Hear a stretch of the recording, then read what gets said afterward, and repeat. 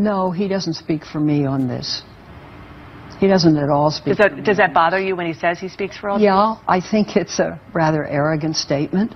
Uh, I think the Jewish community is like any other community. There are different points of view. Um, so uh, I, I think uh, that arrogance does not befit Israel, candidly. Ah, speaking of arrogance, has she ever looked inside the White House? Joining us now is Newsmax White House correspondent John Gizzi. And uh, Mr. Gizzi, how are you, sir? I'm doing just great today. If this cold weather would go away, I'd be even better. Yeah, well, we're going to hit 40 today, I believe, or at least in the mid 30s. But anyway, uh, there's a chill emanating from the White House, uh, so I don't think you're going to reach uh, any uh, high temperatures. And that chill is directed at Benjamin Netanyahu. He spoke at AIPAC today. No. He went out of his way to say he respects the president and Obama and the presidency itself. Uh, but uh, we know what's going on here. What's it going to be like tomorrow in, in inside that chamber? Uh, it's going to look like a campaign rally, and Republicans essentially are saying, Yes, sir, that's my Bibi. Uh, the fact is that uh, just about every Republican is going to be on the House floor.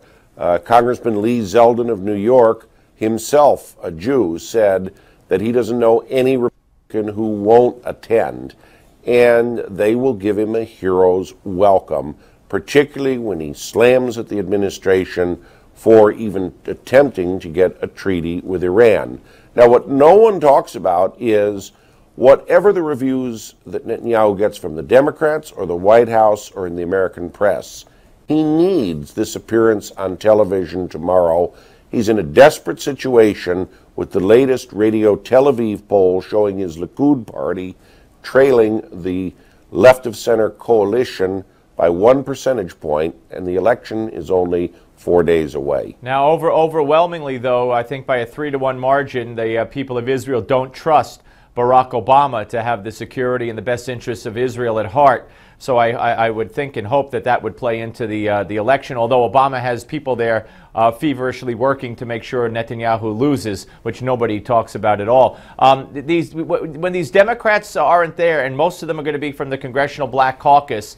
Uh, what message does that send to not only the country but to the world? Well, let's not just indict the Congressional Black Caucus, Steve. Uh, four United States senators, four out of 100, Democrats all will not be attending. And uh, I do say, though, that this is a very complicated situation, but again, to quote Congressman Zeldin, Decades from now, just as we listen to recordings of Winston Churchill addressing the American Congress in wartime, uh, people will look at Netanyahu and they're going to wonder just about how he spoke in terms of security, in terms of the biggest threat to his country, and what needed to be done. I don't believe they're going to be talking about protocol, Congressman Zeldin told Newsmax.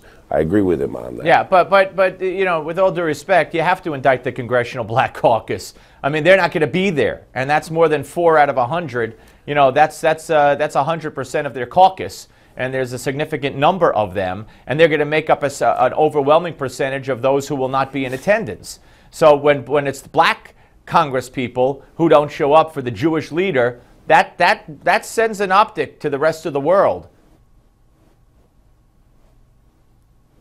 Well, again, uh, I am certain that the punditocracy is going to focus on this, on exactly what you say, Steve.